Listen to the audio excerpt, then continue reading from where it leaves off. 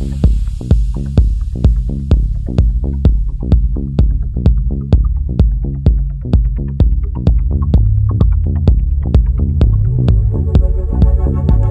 I wanted to show you my renewable energy project here. Uh, this consists of an exercise bicycle and a car alternator. This car alternator came out of a 1998 Plymouth Breeze and uh, I'm using this to generate uh, DC voltage to charge uh, a bank of batteries. And I have a current meter here to show, uh, I'll give you a little demonstration of how that works.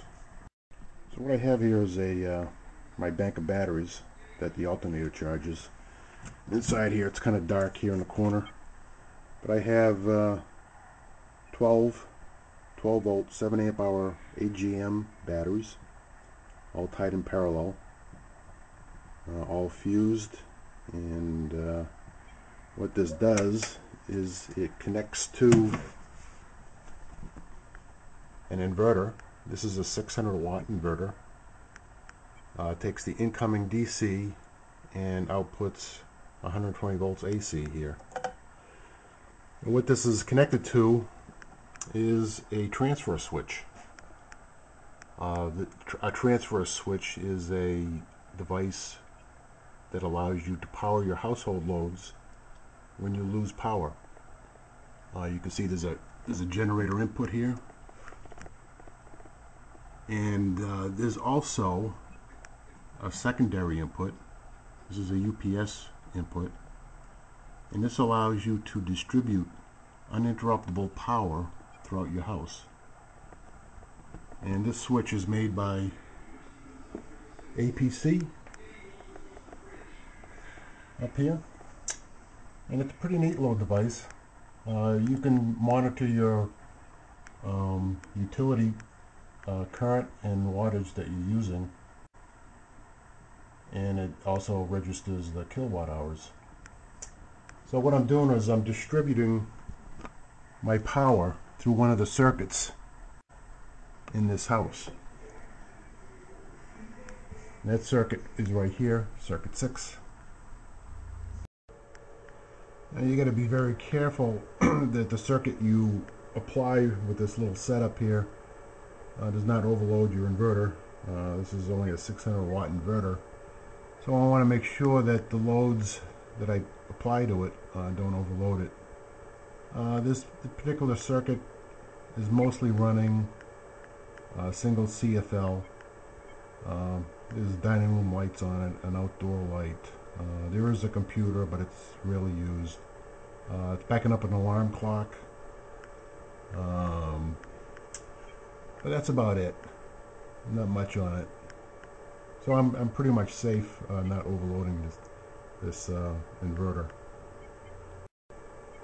Now right now it's running on utility, but I'm going to transfer this to my uh, my battery and inverter setup.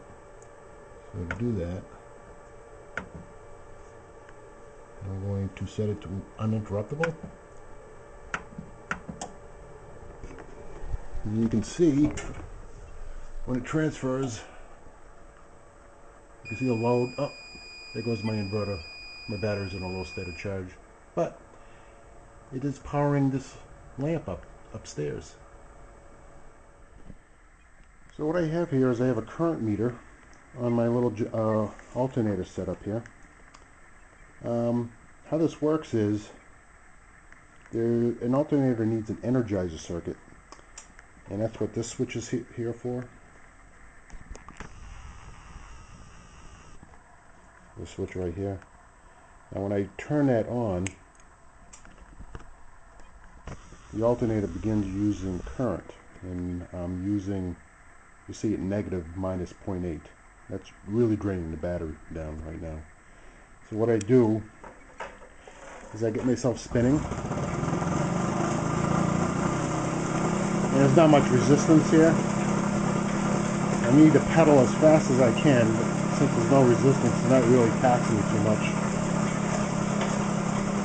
So once I get spinning, I can now turn my switch on. You can see I'm generating plus half 1.5 amps or so. it depends on how fast I'm pedaling.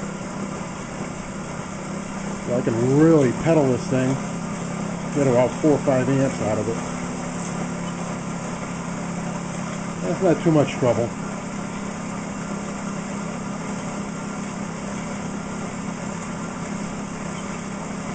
So I can go about 20 minutes here, no problem. Once I'm done, I put energy back into the batteries. And the load that I'm powering is very small, probably around 20 amps or so.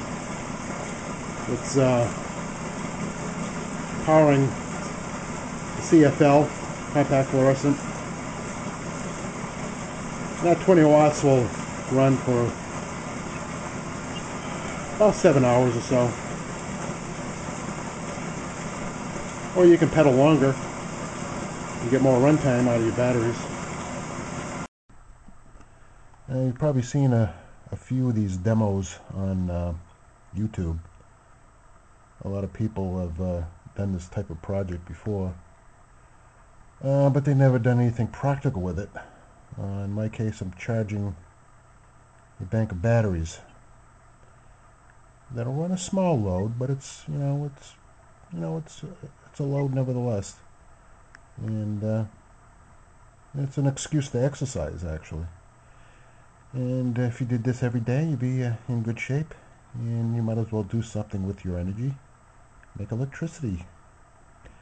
Although an alternator is not the most efficient way of doing it, it's a very cheap way of doing it. I want to go in detail of how this uh, is wired. You can see this is my cable for the batteries. Uh, black is minus, red is positive. That is going to my current meter here, and then back out to my alternator output. This alternator output has a wire that extends up to a resistor. And this is a 20 watt power resistor. It's 8 ohms.